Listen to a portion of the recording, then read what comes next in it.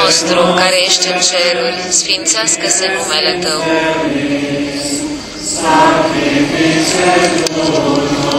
Amen.